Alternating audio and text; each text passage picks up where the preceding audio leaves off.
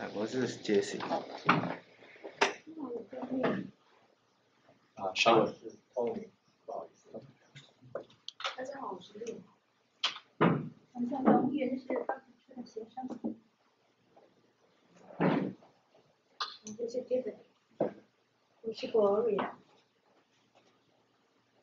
我是素。我是 Henry。我叫瑞芬。我叫梁一涛。我是 Amy。我是 Sophia。我是 Helen。哎，Welcome，欢迎。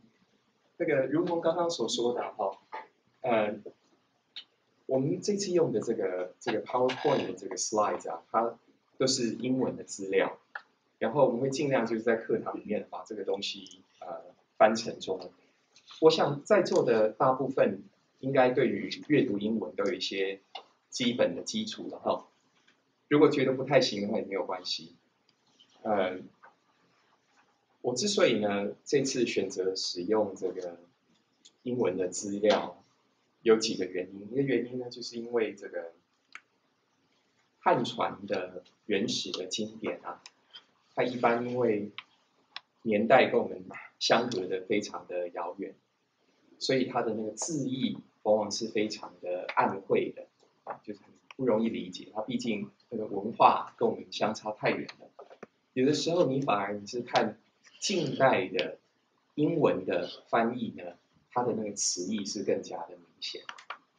那今天呢，我们看的这个第一段这个经文，它是从法句经里面来的，这是法句经的开头的第一句话。它这边它提起到说，所有的一切的经验，它由心作为前导啊，这里的 phenomena 就是把它当做是所有你的心能够觉察得到的经验，这一切都是以心为前导。这里的心就是那个 mind，这个 heart。他这里写说，ruled by the heart，made of the heart。为心所操控，然后唯心所架构。那这样这个这句话到底是什么样的意思呢？在很多后代的佛教啊，尤其是在中国的佛教里面，我们常常听到一些听起来好像是内容是一样的词汇，实际上它的内容很不一样的。好比说中国佛教里面有一句话叫做“呃三世为心造”，好比说这个天台中有所谓的一念三千，有这样的这个这个词汇。那甚至呢，在呃通俗的佛教的故事里面，我想可能有人有听过这样的故事。有人他因为呃念这个六字大明咒，好像说念得非常的虔诚，念到说他能够让这个红豆都跳起来。那类似这样这个解释呢，它要么就是过度的哲学化，他要么这样会不会看不清楚？还是或者是开后面的灯可能会比较好一点吧？这样子好像比较好一点吧？哈，那看比较清楚一点。或者甚至后面如果没有开灯也没有关系，这样子可以吗？要开还是不要开？不用了哈。就是刚刚我们讲的那个，有一些后代的佛教它的观念，包括像说诸法唯心造，哦，这个整个三千大千世界它的心所造成的，或者是说你的这个心力它能够改变物质世界的现象。好像利用这个咒语的力量来改变一些物理的这个现象。那这样的这种信仰，这样的这种思想，这样的这个讲法呢，以原始佛教来看呢，它要么它就是有太多的哲学的内容在里面，它跟实际很实际的禅修的操作是有距离的；要么就是它可能是有一些讲的不好听，就是呃迷信的内容。因为这种透过念咒的力量，能够让树叶掉下来，或者让这个豆子自己跳起来，这个在我们平常的经验里面，它是不容易，甚至是可以说是不可能能够被验证。所以原始佛法里面，他讲说，一切的经验为心所前导，它是有别的意涵的，它是它指的，它是另有所指的。它这里表达的并不是一种唯心论，它这里表达并不是说。整个宇宙都是你的心变成的。今天这个，好比说 Amy 坐在我前面的这位同修，他实际上他只是，好比说是我的叶世田里面的种子变化出来的这样的一个现象。原始文化里面，它比较不强调这种，呃，哲学这种形而上无从验证起来的这样的一个讲述。那他在表达的到底是什么呢？他这句话表达到底是什么意思？为什么佛教那么强调心？为什么法句经它一开头它讲说一切经验由心为前导？我们来看下面这一段经文。下面这段经文是取自于南传的相应部的这个经典。那这里面我们先很快的看一下英文的部分。Why do you call them fabrications？为什么你把它们称呼为心行？心行就是内心活动啊，心心脏的心，行为的行。Because they fabricate fabricated things, thus they are called fabrications. What do they fabricate as a fabricated thing? For the sake of formness, they fabricate form as a fabricated thing. For the sake of feelingness, they fabricate feeling as a fabricated thing. For the sake of perceptionhood, for the sake of fabricationhood, for the sake of consciousnesshood, the fabricate consciousness as a fabricated thing. Because the fabricate fabricated things, are called fabrications. 这个经文它并不是很容易理解。如果说你读了这个英文之后，你还是觉得摸不着头，不知道他在讲什么的话，那是很正常的。然后这个这个经文它并不是那么那么容易理解。它这里它的表达的意思呢，就是指说我们的整个的经验的范畴，我们整个所有我们能够经验到的现象，它这些现象呢，它都是受到我们的内心的活动所制约的。举一个例子来讲，我们的经验的范围里面有什么？我们经验范围的一个部分是身体的感受。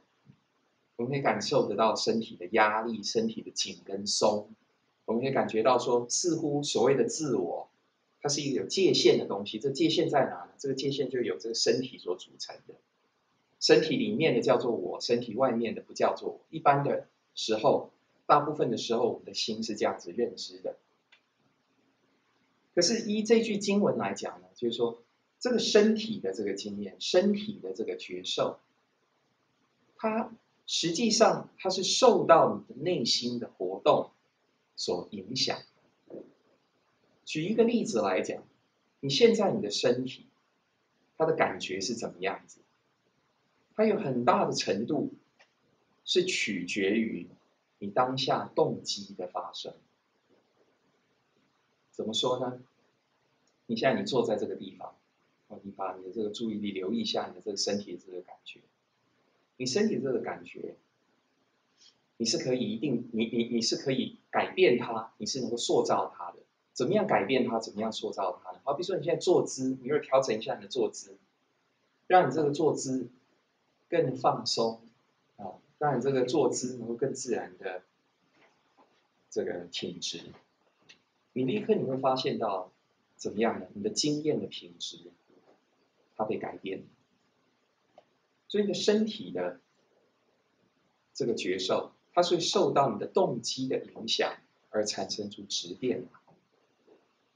同样的，哦，这个你当下的这个受，所谓的受就是你当下这个舒适感啊、不舒适感啊、中性的这个感觉，它也是会受到你的内心的活动，受到你的动机的左右，受到你的动机的架构塑造。好比说，如果说你现在你坐在这个地方，然后你感觉到有一点呃枯燥乏味无聊的感觉，然后你面对这个枯燥乏味无聊的感觉，你是不断的去加深那个感觉，你是不断的心里面一边想说啊好无聊啊，真是烦人啊，你只是用一种盲目的方式在对他反应，那那个枯燥无聊的。感觉，它有可能它会被加深，它有可能被强化，你有可能感觉到更加的无聊，更加的烦躁，更加的乏味。所以这个时候呢，你如果你是换一个态度，换一种反应的模式的的话，你的那个感受它同样还会产生出质变。这个在我们的那个日常生活里面呢，可以一定程度的发现到我们的经验的品质。最重要的那个部分，它是取决于我们的那个动机，它是取决于我们内心的活动的方式。为什么这个在佛法里面？为什么这个在原始佛法里面，它是一个那么样重要的一个课程？为什么佛陀他强调这一点？因为佛陀他要我们认识到，我们的所谓的苦跟乐，痛苦跟快乐，这种人生可以说是最基本的，在驱使我们的活动的模式。我们为什么有它发生出动作来？因为有快乐跟痛苦。然后我们要快乐，我们不要痛苦。我们所有的这个动作的发生，它可以说都是一种在调节快乐跟跟痛苦。但试着要避开痛苦，他试着要追求快乐而延伸出来的活动，这是我们的那个行动产生出来的最最基本的这个模式。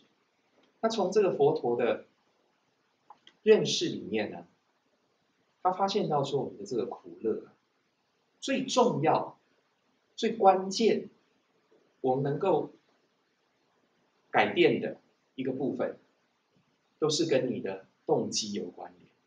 都是跟你的内心活动的方式有关。大部分的人，一般一般的人呢，他会认为我的痛苦跟快乐，它是取决于，好比说客观的条件。如果今天，呃，我中了乐透奖的话，我会快乐。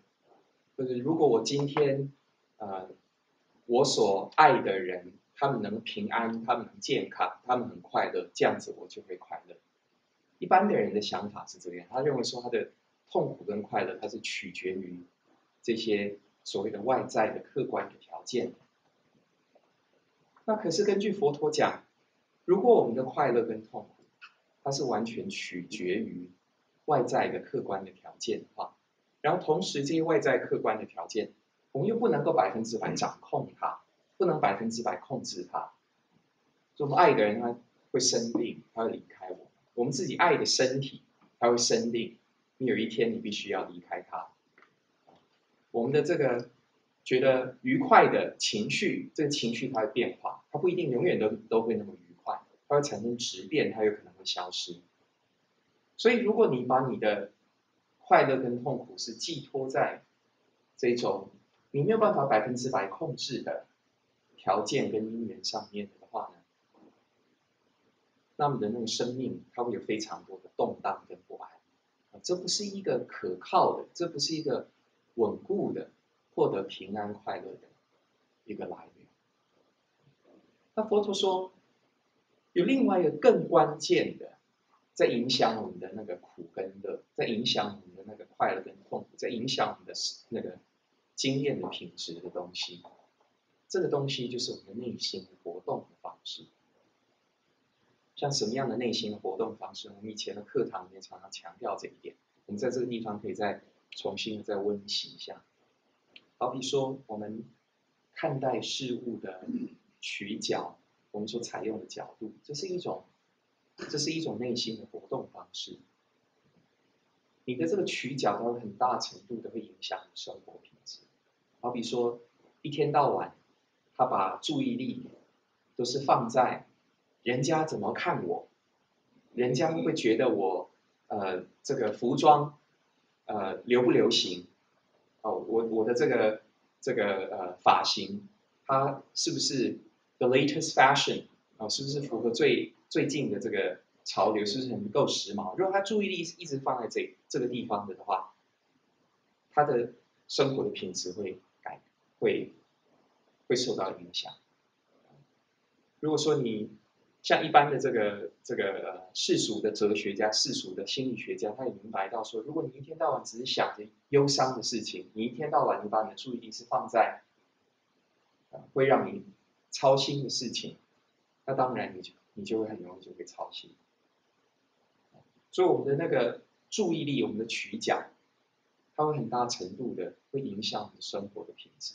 就禅修，它的很大的一个部分，它在锻炼我们，知道说我们注意力要放在什么地方。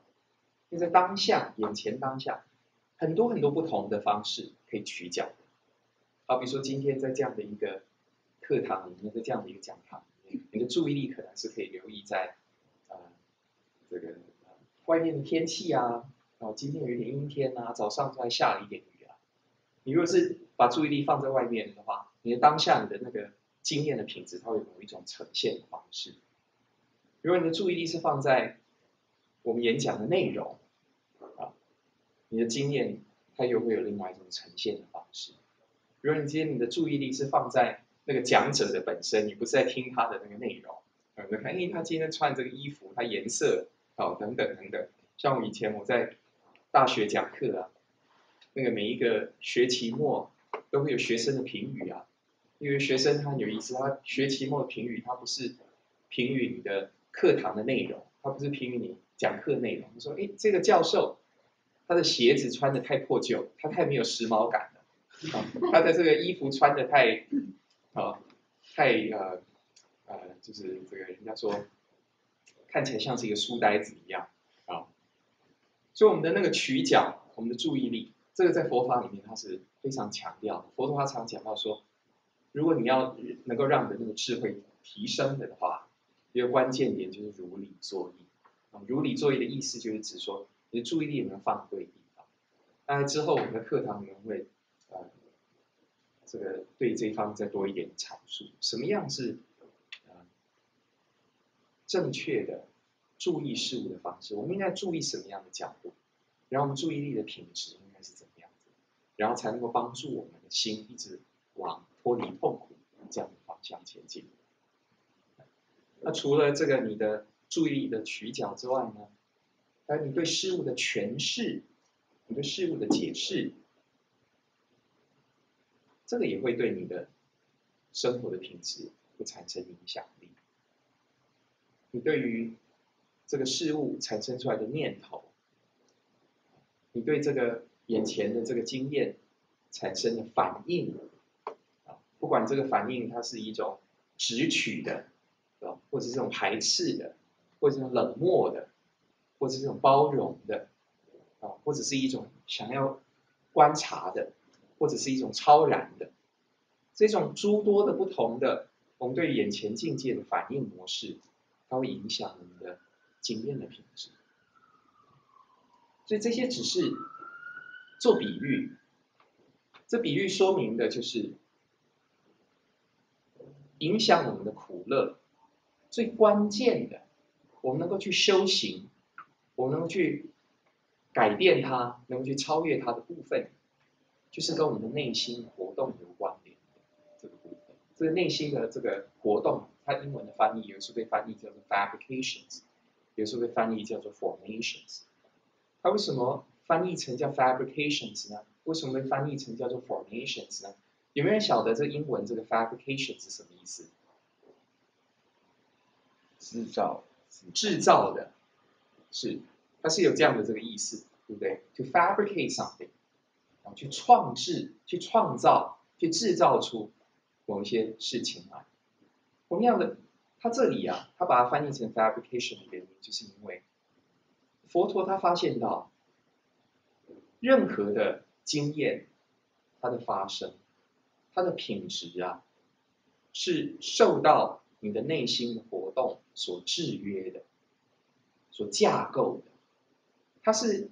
透过你的某一种参与当下的方式，才使得当下的那种品质能够延续下去。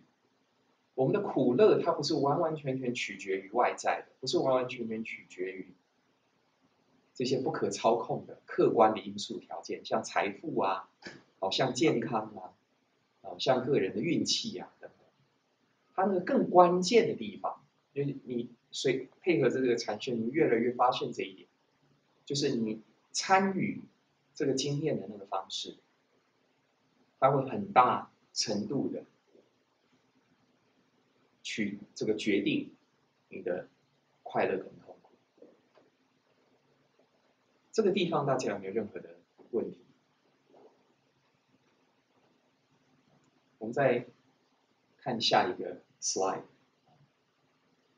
Fabrications, mental formations like the heart of suffering liberation，就是苦乐啊，痛苦跟解脱，束缚跟解脱，它都是取决于心行，取决于内心的活动，取决于我们的这个参与的模式。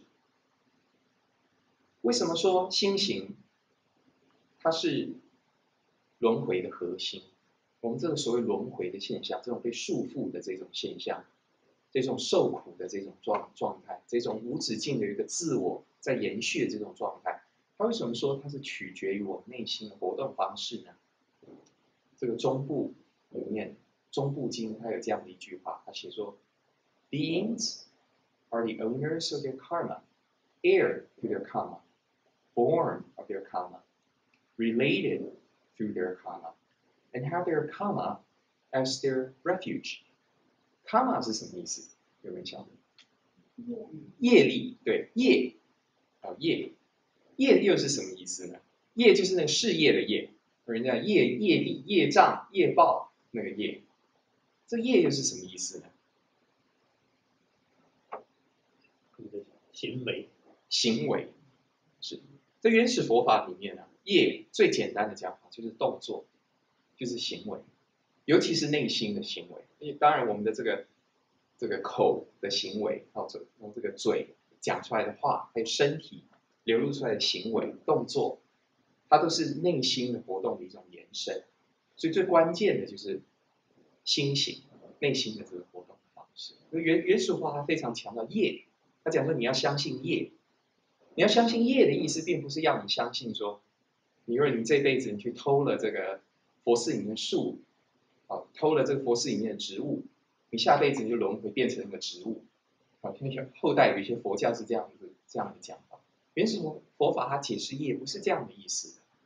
原始佛法里面他讲说，我们当下的经验的品质，它是受制于什么？它是受制于你的动作。这是什么意思呢？一方面，我们过去。做很多很多的动作，发生了很多很多的动机，很多的念头。我们那些动机，我们那些念头，我们那些那些内心活动的方式，它在从一个大的角度来讲，它累积成为一些惯性，然后这些惯性，它很大程度在影响我们当下的生活的品质。好比说，如果过去你有很多的那个动作的那个发生。它都是跟好，比如如何透过赌博这个动作来获得暂时的快感，你常常常常去经历这样的这个活动，去经历这样的一个，透过这样的一个活动得到那样的快感，啊，这样的一个，它会有一个程度是受到过去这些动作的影响，因为过去的那些动作它都在影响我们当下的生活的品质，这个是过去的部分。同样，我们在当下，我们当下我们的内心，它不断产生出新的动机，它不断有新的动作，这新的动机，这些新的动作，它也在影响当下的生活的品质，然后它会影响我们未来的生活的品质。怎么说当下的动机会影响你的品质呢？举一个例子来讲，我们刚刚我们我们在做暖身运动的时候呢。我们提，我们有提到，在日常生活里面，一个非常好的一个练习，就是你能够常常的提醒自己，好像觉知的提醒自己，把多余的紧放开来，让你自己进入一个更放松、更安适、更从容的一个状态。当你眼前呐，就当下，光是起这样一个念头，说更安然一点，更从容一点，不要那么着急。你光是起一个这样的念头，你起了一个这样的一个反应，这样一个调试，你立刻你就会发现到，可能你的焦虑感，可能你的紧张感，它降低了，它不一定会要降低很多，可能降低了百分之五，可能降低了百分之十，可是你会发现到说，你当下的动机，它马马上，它对于你眼前的境界，它产生出一个作用来，它马上产生出一个作用。然后，对于一个禅修上很熟练的人，他常常可以有这样子的体会，他会发现到当下他经历到的苦迫的感觉，他经历到压迫的感觉，他经历到的那种不适宜的感觉，他可以因为一念的超越，一念的超越，它会使得那个原本是那个苦迫的状态，原本是压力的那个状态，它的那个 momentum，它的那个力势，好像立刻被截断，你的心好像得到立刻的超越，立刻的舒缓。我们当下的那个动机，如同我们过去的动机，它对我们生活品质是有影响力的。这是为什么这段经文它讲的众生啊，它是怎么样的？它是 owners of their karma。当下你是谁？你是什么？佛陀他的定义的方式很有意思，他不像过去印度，他定义你，他是以你的身份地位来定义你。你是婆罗门族的，你是刹帝利族的。你会用现代语言来讲的话，就是哎，你你是中产阶级的吗？哦，还是你是那个奥巴马要课税课的很重的那个金字塔上面的百分之十？啊，你的那个 tax bracket 是在哪一层？啊，你是那个被扣百分之二十五的，还是被扣那个扣税被扣百分之四十的？你是什么收入的？或者是你是什么大学毕业的？或者你有没有读大学？一般的世俗的人，他对于众生的定义是这个样子。可是佛陀他对于众生的定义，他认为最有意义的、最有意义的了解众生的方式，就是看他的动作。所以佛陀说，他看一个人，他值不值得尊敬。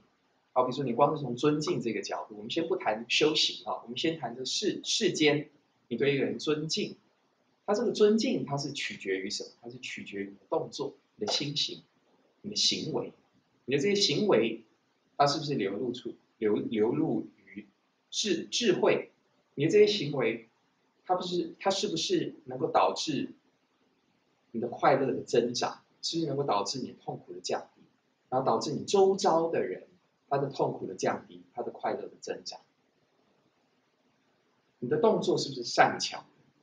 所以是被有智慧的人所称叹的。他是以这样的这个角度来。了解什么叫做众生，然后众生是怎么样呢？他们生于他们的业。你的当，你当下你是什么？你的生活品质是什么？你认定你是什么？这个最大的决定因素就是你的内心的活动方式。我们一直强调这一点，因为整个佛教它的那个禅修，它一直回到这一点，它一直回到帮助你去认识。你的你现在你在做什么？你的动作是什么？它在帮助你能够调整、调试、架构起更善巧的动作。它也在帮助你不断的超越你的动作的方式，乃至超越所有的动作，去体验到极尽涅槃，就诸行时期的涅槃。它一直离不开这样的一个主题。所以意思就是，佛教讲业。业力的业啊，它跟心行啊，可以是同义词，它可以是同义词。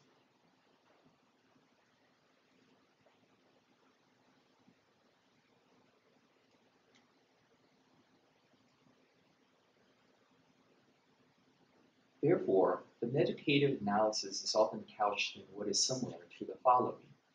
所以呢，这个佛佛佛法的这个禅修的这个方式呢，它常常一直回归到以下的这种思维模式，以下的这种研究的模式，以下这种探索的模式。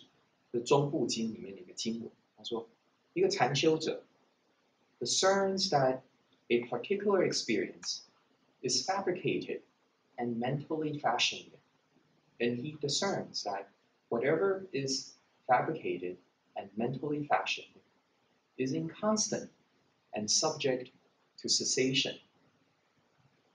有没有人能够大致的解释一下这段经文讲的是什么？什么叫做 fabricated and mentally fashioned？这是什么意思？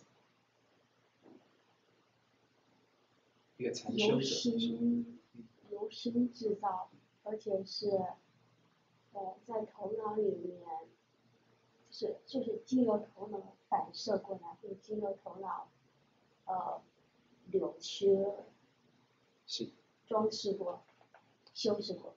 是，这是一个这是一个诠释了哈，是啊、然后呢，我们与其讲头脑，不如讲心啊、为什么这样子讲呢？因为，你如果你认为说头脑啊是你的心的来源啊那是多了一层的诠释了，这是多了一层的诠释。当然，你可以说这是一个科学的诠释。当代大部分的科学家都认为说，脑是经验的，好像说核心的地方，人家说是 seed of the soul，好像灵魂的所在所在地哦。可是那毕竟是多了一层诠释。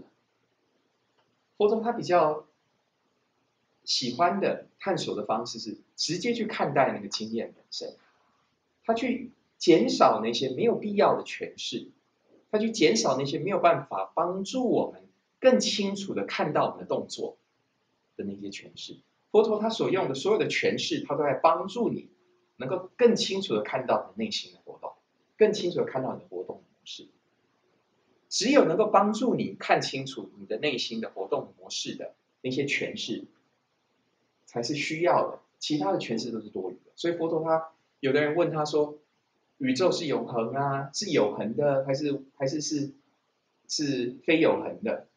啊，有上帝没有上帝等等这些问题，这些没有办法帮助我们了解你的活动模式，他都把它搁置在一边。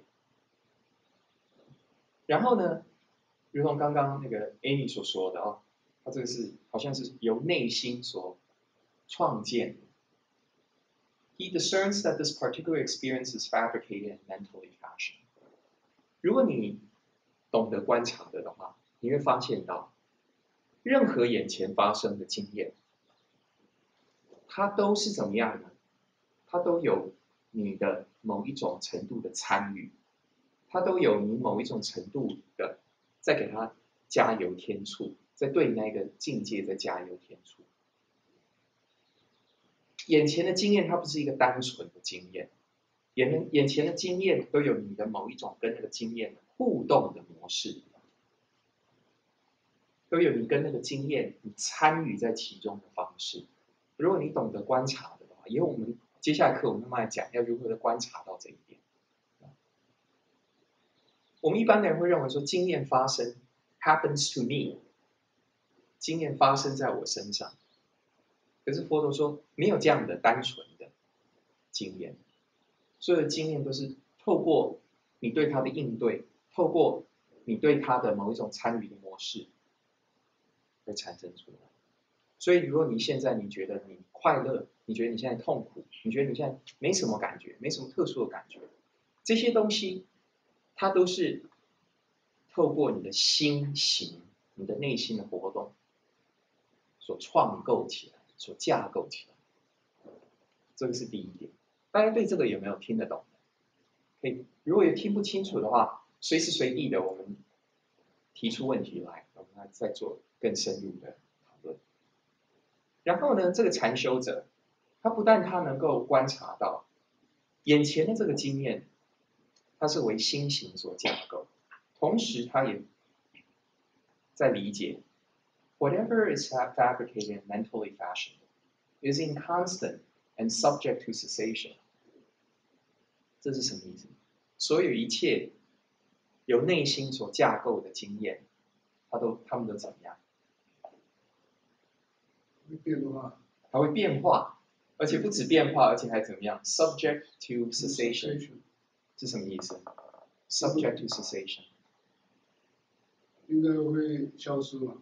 会消失，它会磨灭，它会败坏，它没有办法恒续，它没有办法延续下去。所有的经验都是这样子，所有由内心所架构起来的经验。那老师，请问，如果是这样的话，为什么说这个业可以看嘛，又又会又会跟着，就会就是就是永续呢？看嘛，就变成永续你这样讲可能不太对，大概就是不是讲说你生下来，你要还没有生以前，这个看嘛不不是就先就就先先到了，然后你再成型变成人，然后又跟着你，又变成来世了，就跟着你。为什么会这样子？部派的佛教，对这一点啊，做很多的辩论。有的部派要讲说啊，这个这个堪玛，它到底跟心是同一体还是不同体？是不是心有一个特殊的地方储藏堪玛？原始佛法它不用这样的角度来看待这个事情。原始佛法如同刚刚所讲，它不做多余的、无谓的诠释。什么是多余的？什么是无谓的诠释？没有办法帮助你实质的在当下看到你的内心。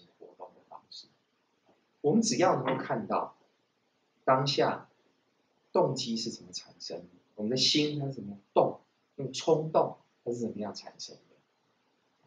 至于说那个形而上，它是什么样的那个模式在运作，这个部分我们可以不必去理会它，因为你那个诠释它是没完没了的。你可以一直有换出不同的角度来诠释，好比说那个研究化学的人，他可以一直才开发出新的模型来，他可以说哦，事物的这个粒子最小的单位是是这个呃 atoms 哦，有的人说不不不，最小的单位是 quarks，他这可以无止境的延伸，因为你的内心会一直开展出新的认知的模式来诠释你的经验，所以我们现在我们的我们把那个注意力。改变一下，我们注意力不是放在那个形而上去去看说它的那个机转是怎么样，那个机械它是怎么样。我们是在就在这个经验的本身里面去看那个经验它的身，看它的命。然后您刚刚讲说卡玛它难道不是恒续的吗？卡玛它不是恒续的，卡玛的意思就是新的动作，新的动作产生出来的力道，新的动作。产生出来的影响力，是不是？那它这个影影响力呀，它是一个有限度的，它是一个有限度，所以你每一个动机，它可能会产生出一个有限度的一个一个影响力。你如果你不相信了的话，你做一个实验，你做一个实验，好，好比说我们如果把这个手这样举起来，手这样举起来，然后你看你这个手举保持这个姿势能够保持多久？不是真的要你撑在这个地方三个小时、四个小时、五个小时，我还可以撑，我还可以撑，我可以撑上一天一夜都没有问题。这样的一个就是要让你了解到啊，你现在手这样举起来的这样的一个经验啊，你发生这样的一个现象，它这个经验它是怎么样产生的？它主要它是透过你内心的活动所产生出来，你必须要有举手的动机，是不是？而且你举完手之后呢，你的那个动机只要一消退，这个姿势就不能维持着。你这个姿势要维持着，你一定要一直产生出新的动机来维持它，维持它，维持它。我要撑着，我要撑着，我要证明给人家看，我手可以撑着两个小时、三个小时。你要一直产生出，你要一直重新的使力，你才能有这样的一个现象，有这样的状况的延续。这样听得懂？同样的，我们所有我们在世间追求的不同种的境界，不同种的经验，不管那个境界是有钱的滋味，被人家尊敬的感觉，被人家爱的感觉，觉得自己很有成就，觉得自己才华被能够发挥，不管你追求的是什么样的状态，他那些状态，因为它是透过你的动机所架构的。所以它都不能够恒常的被延续着，它都不能够恒长。所以请问，如果是这样的话，这个动机是呃经常产生嘛？那么你要你如果要修要去要修修为的话，那么你也要经常的产生这种是修为的动机吗？是，这样你才能够达到。达到一个程度，是的。那换句话讲，就跟这个跑马拉松的人哦，他要持续这么久，他就要经常要产生动机，随时要产生动机，他才能够维持到那个终点。你你就算是不刻意的产生动机，你当下也是一直产生动机，懂我意思吗？就是说，产生动机，已经它是一个内心的自然而然的活动的方式。它不是要你刻意的。我我们现在讲的动机哦，不是只有很粗糙的动机，不是只有说我要偷那一百块，我要开车去什么地方，不是只是这样的动机，还包括当下的非常细微的念你纪念的，包括我们现在我们那个身体可能有一点点不舒服，所以你调了一下姿势，包括你眼睛可能觉得有一点点干，所以你眨了眼睛，包括你现在的那个注意力。从听这句话跳到下一句话，那个细微的调整，我听了这句话联想到的东西，我联想到到到的东西，我怎么在对它反应？那都是动机，那个都是内心的活动。然后随着我们把我们的那个观察力培养起来，我们发现到的这些活动会越来越细腻。你发现到越细腻的动作，你就能够发现到越细腻的苦，它是怎么产生出来的？它怎么样跟你的动机是有关联？按到最后，佛陀说，真正的快乐、真正的自由、真正的平安，不是无常的，不是这种会 inconstant and subject to cessation，不是那种无常的，会磨灭、会败坏、消消殆、无余的那种快乐。那种快乐呢，它一定是必须不能建立在你的内心活动上面，就是涅槃，涅槃。涅槃，它从一个角度来看，它是一种内心不再依附于动作的一种状态，它这种内心不再攀附在这个动作，然后透过攀附这个动作产生出我在这里，我是谁，我能做什么，它不再依制着这个动作，依着某个动作，这个是能够带给我快乐，我把我的心寄托在这里，你超越了这样的一个状态状状态。所以涅槃的快乐，涅槃的平安，它是剥夺不走的，它是无条件，它是无为。无为就是它不是架构的，它不是透过动作而换来的，不是不需要你这样一直维持的。啊，我要涅槃，我要一直待在涅槃里，我可以待在里面三个小时，可是待啊撑不住了，得出来了。如果是这样的话呢，就不叫做涅槃。但是这个涅槃是不是也是要经由？这种不断的 practice 是去去达到那个境界，是，所以佛佛陀他，你看他的那个八正道，然后他其中一个叫做呃正精进嘛，就是八正道里面还有正见，对不对？还有正智，对不对？还有正业、正命、正欲，然后他接下来还有所谓的那个正精进，对不对？他这个这里面都是动作。八正道讲的都是动作，正智啊，就是说你的意志的导向，你的那个动机的那个导向，这就是动作。正业，你的身体的活动的方式；正语，你的口的活动的方式；正定，它是某一种内心的活动的方式，等等等等的。它是透过了解你的活动，努力的去架构起。良善的活动，善巧的活动，这些善巧的活动，它一方面它降低你的痛，它提升你的快乐。所以你一修行，一开始你就会发现到你的痛苦降低了，虽然还没有彻底的消失。所以这是第一点，你良善，你把它精致化你的动作，所以你立刻痛苦它减少，快乐提升。然后另外一方面呢，你的所有的动作都在帮助你。能够越清楚你的动作，所以能够超越你，能够不依附你的动作，能够对所有的动作产生出一种厌离。有厌离就是说，你你看清楚，知道说这个里面没有答案，这个里面没有一个安全，这个里面他们有一个能够提供给我任何一个稳固的境界。所有透过动作而换来的那些境界，它都怎么样？In constant subject to cessation。然后你这个是在你的实际的经验里面不断的去观察，不断的去认知，透过这种有透视性的这种觉察得到的体会。还有其他的问题吗？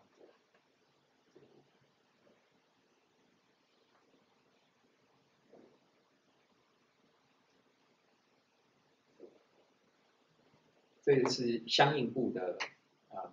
一段经文啊，它解释夜跟星星。他说，What monks is O comma. The eye is to be seen as O comma, fabricated and willed, capable of being felt. The ear, the nose, the tongue, the body, the intellect is to be seen as O comma, fabricated and willed, capable of being felt. This is called O comma. And what is mu comma? Whatever comma one does now with the body, with speech, or with the intellect, the mind, that is, this is called a mu comma. And what is the cessation of comma?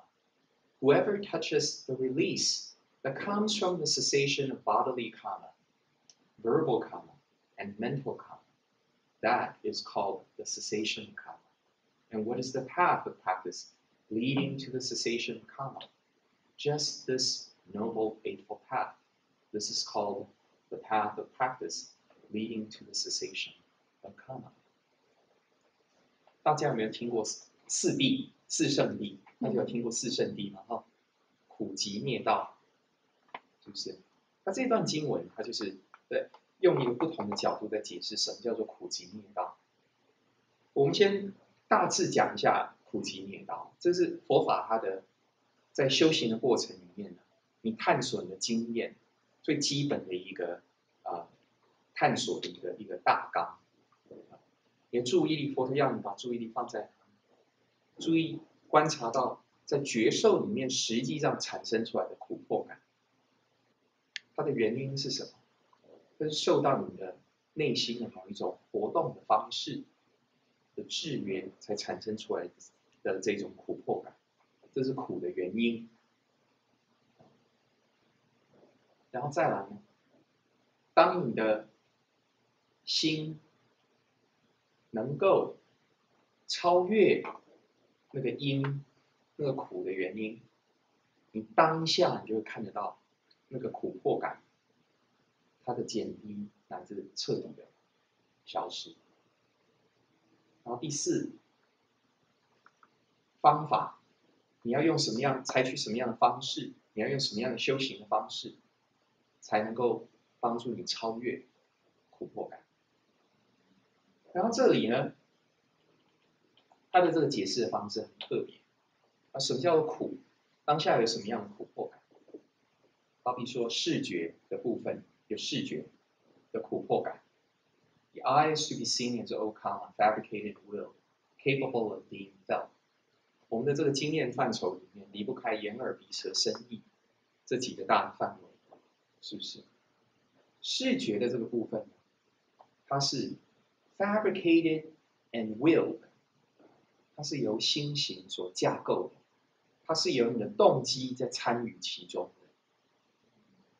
视觉怎么有动机参与在其中？有的人会觉得很奇怪。视觉怎么？为什么说你的每一个视觉的发生，每一个跟视觉有关联的经验，它都是有动机？这是什么意思？有没有人能够做一个比喻？这是什么意思？上，比如说你你注意力在回忆一个什么东西时候，你对眼前看东西就会视而不见，或者是你。你你要看那个东西，眼球会要聚焦，你才能看清楚。然后周围东西就会模糊。非常的好，大家有听得到刚刚上讲什么吗？那好比好比说有一个一个一个例子，有的时候我们面对一些事情会视而不见。你要视而不见，你必须要把你的那个注意力转移开来，那就有动作啦，那里面就动机啦。就是你看到某一些东西，你看的让你觉得很害羞。很尴尬，或者看着不不舒服，你想眼不见为净，眼睛避开了，转移那个注意力的转移，或者甚至你眼前你看到的东西，你注意力没有，你的那个视视线没有转移，可是你刻意的把你的那个注意力模糊，把那个焦距把它模糊化，你要这样子不注意，不太精心对某一件事情不太留意，那也是需要你的动机呀。也是需要你的某一种活动，或者你看到你开车在高速公路上面开车，看到旁边的那个广告牌子上面有一个很漂亮的一个巧克力蛋糕，有一个巧巧克力蛋糕的广告，你一边开车，你眼睛就转过去了，然后哇，好漂亮的蛋糕，好好吃的样子，当你这样子做的时候，你那眼睛啊，你又有人在旁边用一个什么东西测量你的瞳孔，就发现你的瞳孔放大了，是不是？或者你那个焦距在在调在调整，你要注意，会吸到那个里面去。那里面是有你的用力呀，那里面是有内心的活动，所以这个视觉的部分它是怎么样的？它是 fabricated will，它是有动机在里面的，它是由内心所架构起来的，而且呢，它是 capable of being felt，你感受得到的。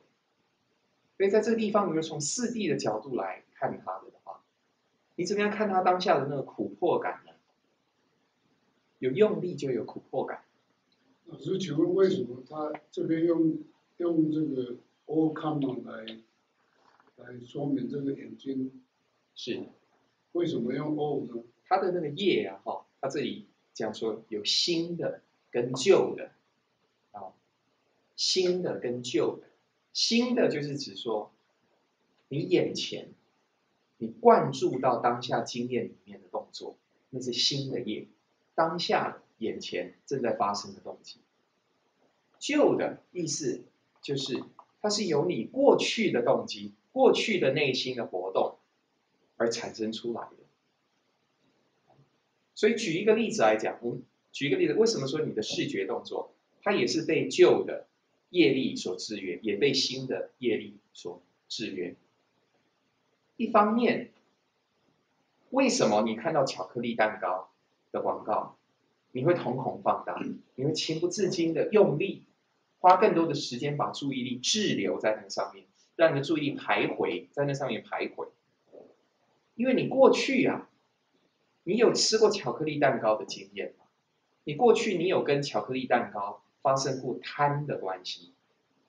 好棒啊！透过这样汲取，透过这样的活动，得到舒适的感觉，好吃啊，好吃啊，好吃啊！你有过了那样的那个经验，那个经验它到现在它会影响你。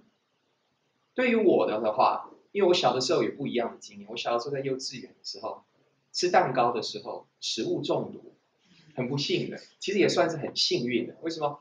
刚刚好就是这一种油腻的不健康的食物让我发生食物中毒，所以让我一辈子看到蛋糕，看着就很厌恶。过去童年的那个制约的动作，它连结有一个连结的效应。所以他让你只记得，我们现在我们的好恶，我们喜欢吃什么，不喜欢吃什么，它很大程度是受到你过去的活动的方式啊，是不是？如果你过去你花很多的时间在享受臭豆腐的滋味，啊，允许你自己去跟臭豆腐发生某一种关系，内心跟它接触的方式，那么你现在你看到臭豆腐，你的反应，你的瞳孔会放大到多大多大的程度？是会受到影响的，所以这是受到过去的内心的活动的制约，是不是？同样的呢，这个当下，当下，不管你是身体的活动、言语的活动，或者心理的活动，你一直产生出新的动机来。好比说，我现在手这个姿势，它一定是要你的内心的某一种实力、某一种用力的方法，你才能够。产生出这些身体的活动的姿势上面的改变，所以这个是 new karma。然后呢，你有没有发现了很有意思？它这边四谛里面苦集灭道，那个灭灭就是自由的体会、涅槃的体会、痛苦的超越，它是等等同于什么呢？Whoever touches the release comes from the cessation of bodily karma, verbal karma, and mental karma. Release 就是自由，就是自在，就是解脱，就是解缚。Comes from the cessation，身形、语形、啊口形、心形的止息。它这个止息就是指你的内心停止了它的那种参与，停止了对这些动作的依附的状态。它这个就是等同于解脱，然后八正道是道，苦集灭道道的部分。这样大家看这一段经看得清楚吗？了解它的意思吗？它这里很有意思，就是它把业等同于苦，他把业的止息等同于灭。这一点很有意思，我们以后我们会啊再更深入的了解。然后最后今天用的最后的这个一个一个 slide 啊，我们刚刚讲到说轮回的状态，心束缚的那个状态，它是取决于心行。同样的解脱涅槃，它也是取决于心行。怎么说呢？中部经有以下的这样的经文，他说：“One does not form any specific fabrication or volitional intention towards either existence or non-existence. Not forming any specific fabrication or volitional intention towards either existence or non-existence, he does not cling to anything in this world. Not clinging he is not excited. Unexcited, he personally attains complete nibbana. He discerns that birth is ended, the holy life fulfilled, done is what had to be done. There is nothing further. 有没有人能够解释一下第一句话？One does not form any specific fabrication or volitional intention towards either existence or non-existence。这句话是一个佛法出世间法的一个精华啊！你要怎么样的超越束缚的状态，超越所谓的轮回的状态，要怎么做？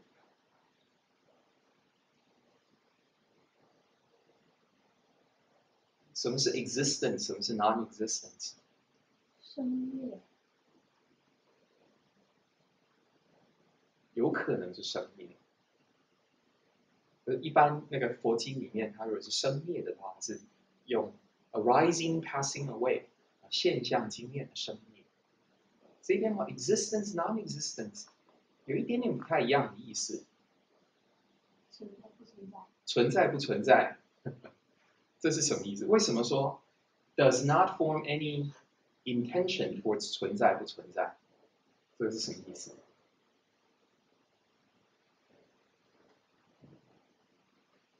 轮回的状态，一个一个解说的一个方式，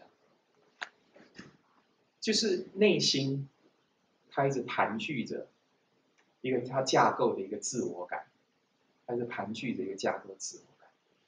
那它盘踞在这样的一个自我感上面，他说：“我未来将要怎么样怎么样？我未来将要以某一种方式存在，我未来将要以某一种方式不存在。”举一个例子来讲，举一个例子来讲，有人跟我讲说：“哎，你如果你能够减肥，再瘦个十磅的的话，你会变得更好看一点，你会更的变得更漂亮一点，变得更苗条一点。你的心就怎么样倾注于那样的一个境界，向往的那样一个境界，更苗条的自我。你的心向往，他把那个力量倾向于倾注于。”一个影像，一种状态，一种存在的状态，这个就是 forming fabrication or volitional intention towards a certain kind of existence。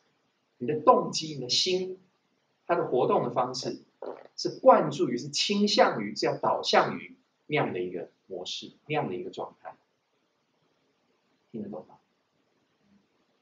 这个不是只是在世间这个样子而已，就连在宗教的修行里面，很多的人也是，他是倾注于未来的状态。说，我死掉之后，因为我接受这个宗教，所以我将会跟上帝永生。我这个自我感，他能够得到永恒的延续，的心倾注于憧憬、幻想、期盼、仰景、应盼那样的一个状态。这是某一种轮回方式，所以这个是存在某一种存在的模式。那什么叫做不存在的模式？心如何能够对不存在的模式执着？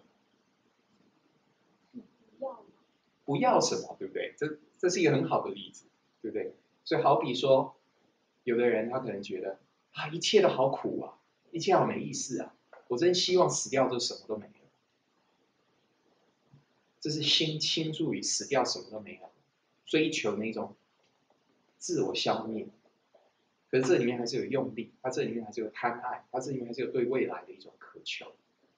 啊，它这还是依附在自我感上，或者你不一定就要等到死掉以后，你甚至眼前，啊，有人讲你不好听的话，我跟你讲，你这个人怎么那么没有用？你听那个感觉很不舒服，不要这个感觉。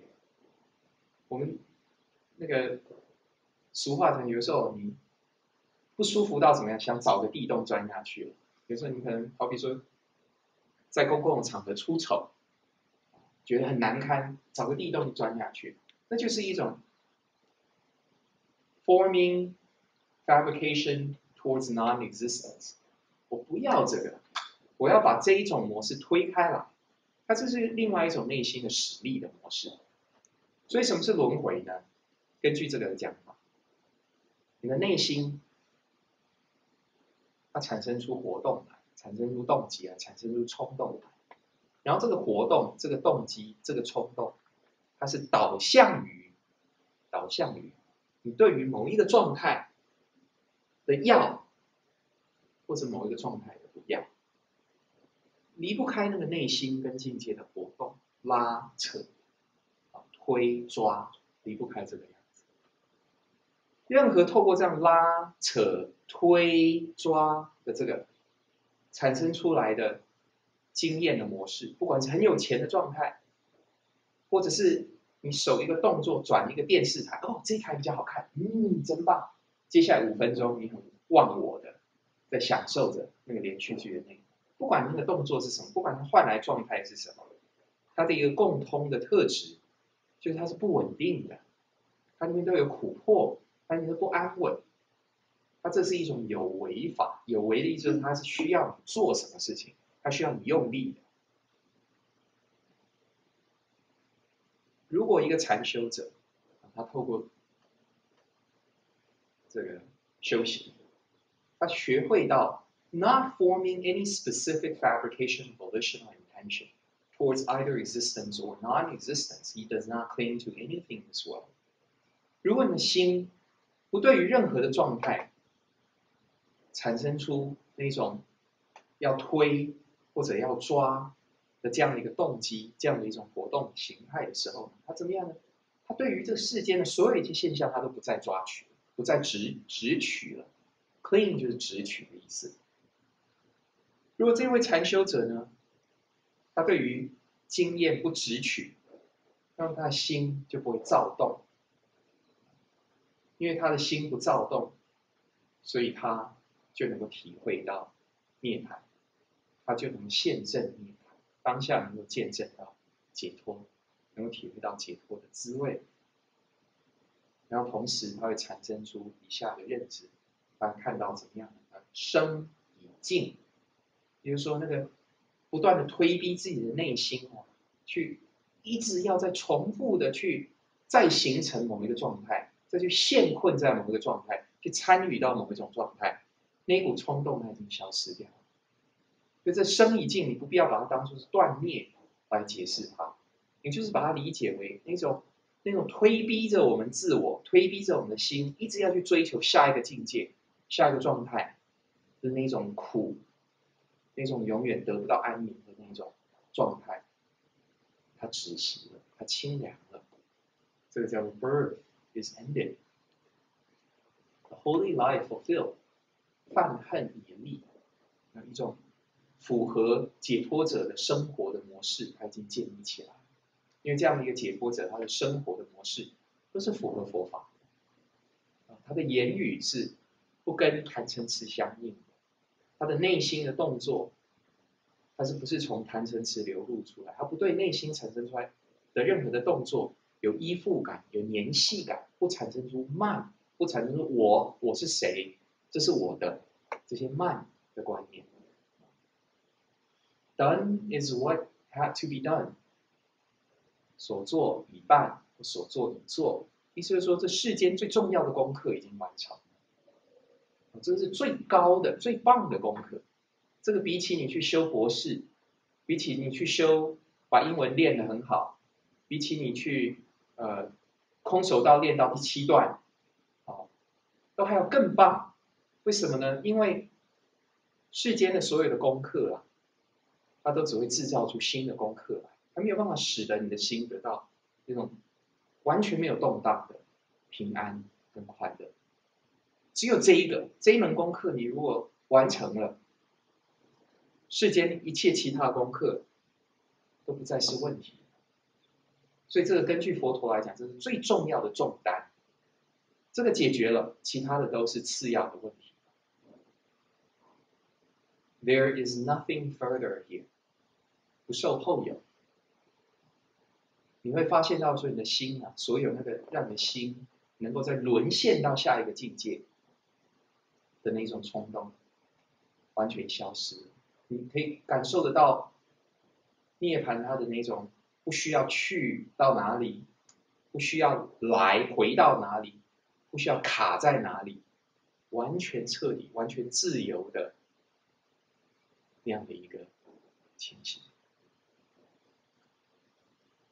今天讲到这个地方，有没有任何的问题这心得？那么接下来的那个课程就是啊。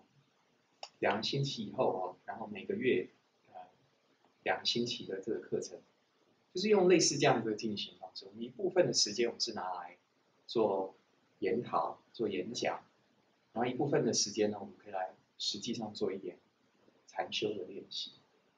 那对于今天的我们的这个演讲的部分，大家有没有任何的问题或者是心得？那如果说这个。啊，业的话就是啊，眼耳鼻舌身的。那这个业的话，我们死掉的时候，我们那个身体已经坏灭了。你看哦，它很有意思哦，它是说眼耳鼻舌身是旧的业所产生的，对不对？新的业是什么？是心发生出来的动作，言语发生出来的动作，身体发生出来的动作。意思就是说呢。因为我们过去有对于境界有攀附、有追求，因为我们的心一直都是处在它要依附在一个中心、依附在一个自我感上面这样的一个状态，所以呢，它会一直制造出新的情境啊，还有新的情境、新的眼耳鼻舌身意的情境，它会情不自禁的要参与其中。所以，我们今天为什么发现到我们有这个眼耳鼻舌身意的这样的现象？它是因为过去的驱使力所造成的，它是由过去的驱使力所造成，所以就算是，好比说这个肉体的死亡，好，好，我们这眼耳鼻舌身，物质上面这眼耳鼻舌身，它好像是败坏了，心它会情不自禁的再去参与新的眼耳鼻舌身意的情境。这里的那个眼耳鼻舌身意的那个情境，你不一定要把它理解为是这个眼、这个耳、这个鼻、这个舌。你如果这样的去理解它的话，那就很容易忽略掉说佛陀他实际上讲眼耳鼻舌身是指眼睛的经验、耳朵的经验、鼻子的经验，它不一定是要跟着感官是相关联的。所以这个感官它可以败坏，而且实际上它在当下你还没有。还没有败坏，这个感官还没有败坏之前，它已经在生生灭灭。你的心已经一直在重新要去依附，要去追求新的眼耳鼻舌身意的情境。这样懂我的意思吗？我们不必要把这个想成只是肉体上面的这个根门而已。因为如果是肉体上面的这个根门的的话，很容易就会产生出像刚刚你所提的那样的那个疑惑。实际上，佛陀他讲眼耳鼻是生意。他讲纯粹是经验范畴上面的东西，视觉产生出来什么样的经验，听觉产生出来什么样的经验，嗅觉产生出来什么样的经验，不一定是要跟这个根门有关联。你要说哦，嗅觉是从这发生，你是多了一层诠释了，多了一层诠释。实际上的经验发生的当下，就只有嗅觉，那是不需要再多余的诠释，不需要你再套一个模式说。哦，我的鼻子长在这儿，哦，因为空气跑进去，因为里面的分子，哦，跟这个直接看到当下嗅觉生灭，当下视觉生灭，当下心怎么样去倾注到新的眼耳鼻舌身意的境界？当下眼耳鼻舌身意的境界，它怎么样消毁？它怎么样磨灭？马上它就改变，马上它就变质，又是一个新的状态。我们心又在对这新的状态，又会产生出反应。还有其他的问题或心得吗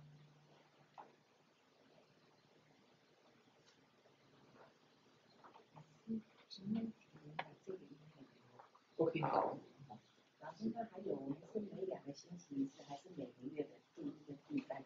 是，就是呃，我们是可以尽量配合大家时间的话，但是我想说，in order to avoid confusion，如果说一个比较可以避开这个困那个混淆的的方式，就是说第一、第三个礼拜，这样似乎会比较好一点。我们就是固定说以后就是每个月的第一、第三个星期，那只要大家有兴趣的话，我们就是可以很全盘的，然后把这个原始佛法，它呃从呃起头到很多这修行的这个细节，做一个做一个交代，啊做做做研讨。老师是。五五月十九号是义佛节，哦，能不能改改改礼拜六或者是是是是，而且六月，呃，大家觉得怎么样？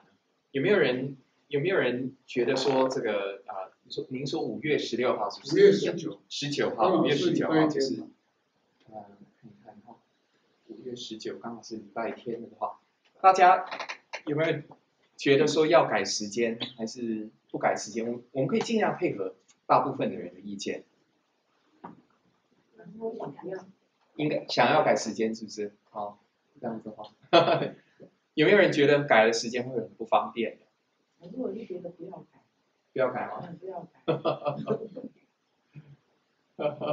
因为有人他今天没来呀、他可能下次会来，他可能会找不到。嗯，有没有人？要不然我们这样做一个投票决定，好不好？哦，呃，想要改时间的，可不可以举一下手？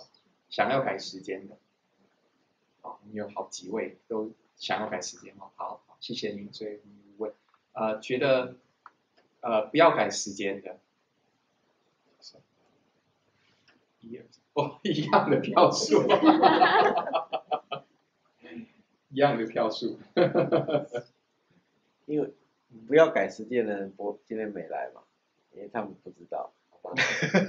OK，那反正如果说真的是不能来的话，我想那个因为那个很感谢那个 Sean 他有帮我们录影，好，有帮我们录音，有帮我们录影，所以可以有其他方式补课。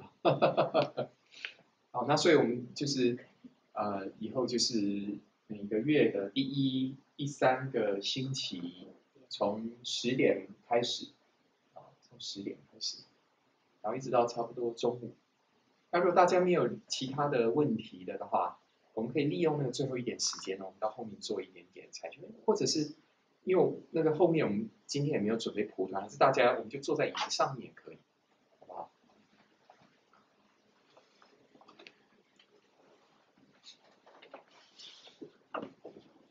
那个我们那个上一轮的那个录影就可以录到这里就好，那其他的就是说以后我们那个录影就是录那个演讲